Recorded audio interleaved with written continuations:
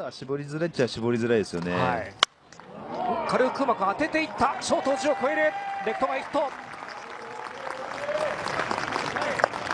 追い込まれていましたがうまく外野へ持ってきました。いかがですか今のバッティングは。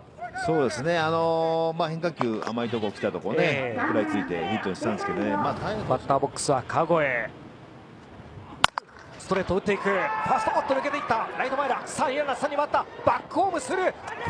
タッチはどうか。タッチセーフでした。セーフでした。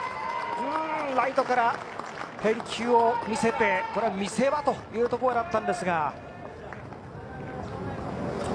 児玉が帰ってきました。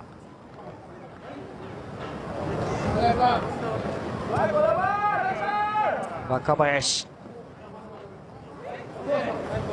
まさに昨日のゲーム形式のノックで、ね、見せたようなシーンで、うん、足が若干先に入ったんですね。児玉、玉がいい走塁もここは見せていきました。